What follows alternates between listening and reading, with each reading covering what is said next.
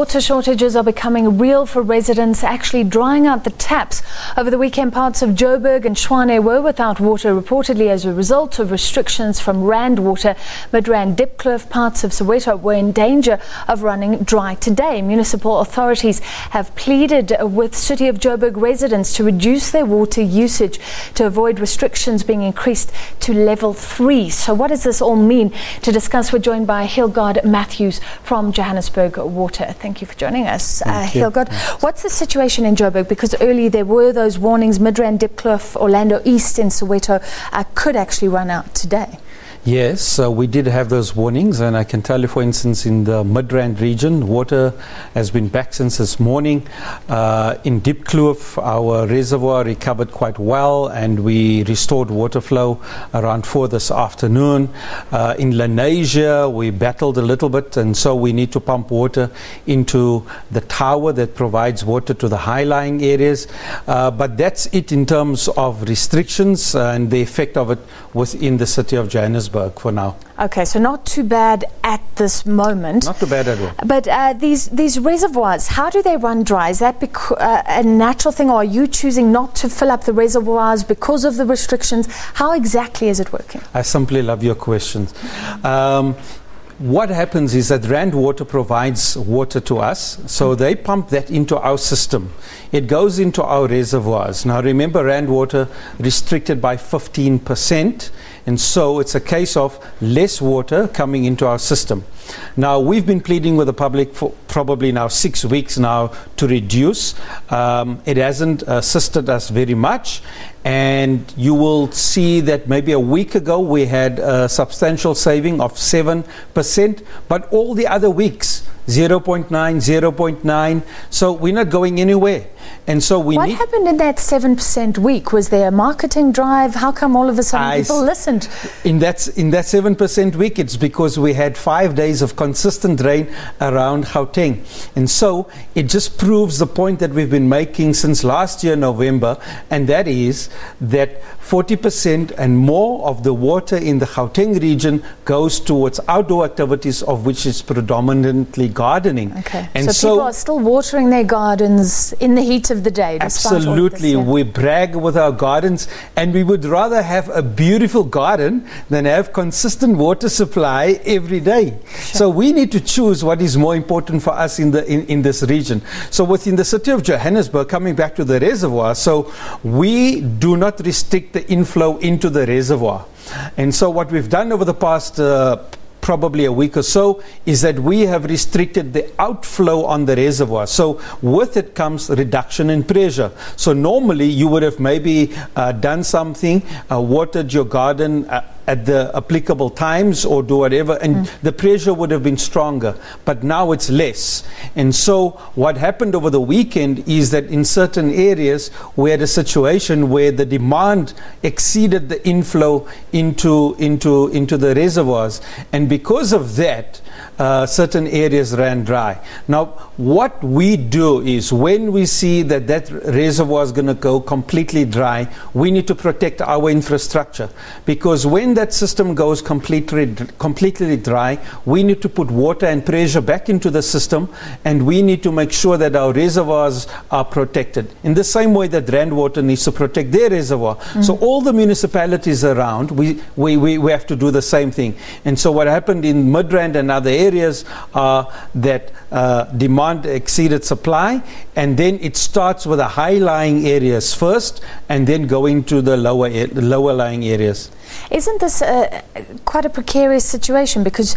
Uh, playing around with the water pressure, it can hurt the pipes, it can hurt your infrastructure, it can hurt our infrastructure in complexes.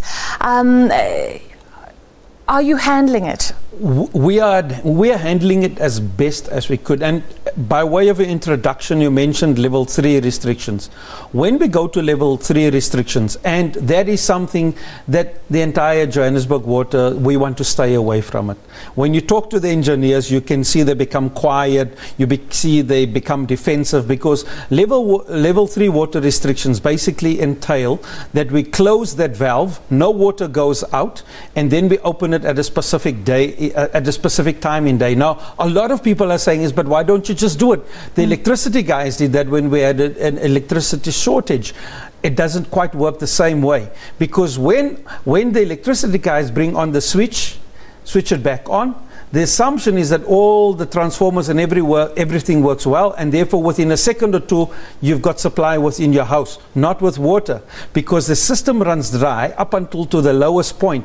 So when we then have to recharge that entire system, the water runs into the reservoir straight out, down to the lowest point, then starts filling up as the hills and whatever within Joburg uh, are outlying within the city. And so before you know it, we will have water after about five, six hours in the reservoir. The reservoir must then pick up to a certain level before we can start pumping water to the water towers that services the high-lying areas in that area. Sure, so this is like load shedding for water, but it doesn't work very efficiently. It's, it's not it's efficient. hard to control those, those And you levels. mentioned what you said earlier.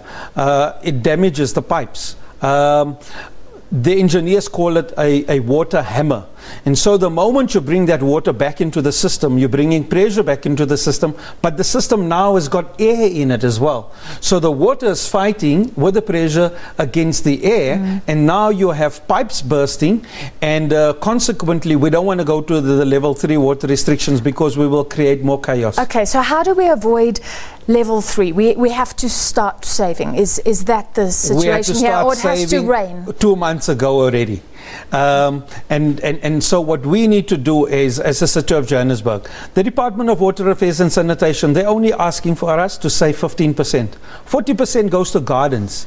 Are we saying truly that our gardens are so important, that our outdoor activities are so important, that we would rather sacrifice our consistent supply daily for a garden? And so we need to save and we need to save drastically for us to make up that 15%. It's, I guess it's hard because you cannot actually pick out the, the culprits, or, or can you not start to see where people are flouting the, the savings request that you have you, made?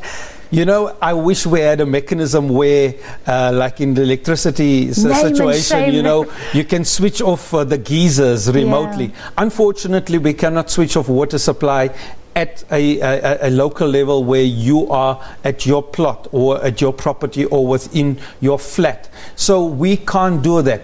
However, we as a community, we need to start regulating and governing and policing ourselves.